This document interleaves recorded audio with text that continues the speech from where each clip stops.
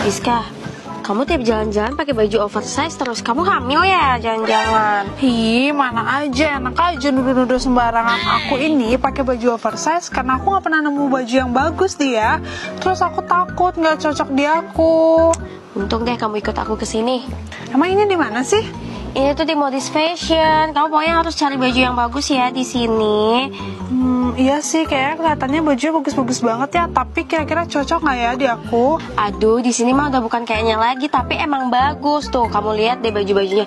Kualitasnya tuh premium banget, guys. Dan lihat tuh, harganya super terjangkau. Wah, iya ya lucu banget lagi warnanya. Udah gitu modelnya bagus-bagus semua. Aduh, aku gak sabar deh mau beli semuanya.